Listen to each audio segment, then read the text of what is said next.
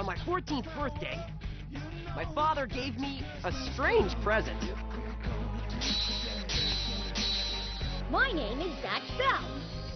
You're Professor Takamine's son, Kiyo Takamine, right? Your father asked me to help you.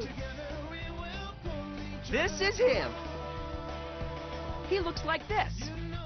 But when I read Zatch's red book, an electric shock shoots from his mouth.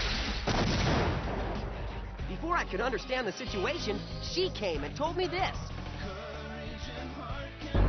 Zatch is a Mamodo, one of the hundred chosen Mamodo children sent to our world. Each forms a partnership with a human, and these partnerships then battle each other. And the last one standing is A Mamodo king. A Mamodo child. The king? Wow. What do I do with this book?